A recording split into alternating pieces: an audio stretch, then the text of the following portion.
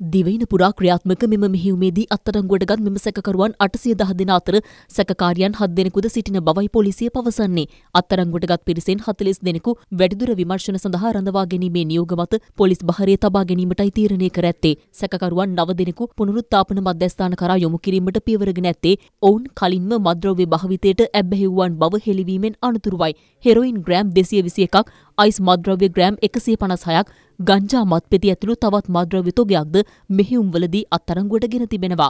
මෙ අතර හලාවත පොලිස් කොට්ටාසේ කොස්වත්ත පොලිසිය සිදු කළ මෙහුමකදී සැකකරුවන් විසිතුන් දෙනෙකු අත්තරංගොට ගන්න ලැබවා. හෙරොයින් හා නීති විරෝධී මත්පැන් සන්තකයේ තබා ගැනීම සම්බන්ධයෙන් දහතුන් දෙනෙකු අත්තරංගොට ගැනුණු අතර වරෙන්තුකරුවන් අට දෙනෙකුද මෙහිදී අත්තරංගොට ගෙන තිබෙනවා. අලියුම දෙකේ සිට උදෑසන හය දක්වා මෙහුම ක්‍රියාවට නැංවීමටයි පොලිසිය කටයුතු කර තිබුණේ.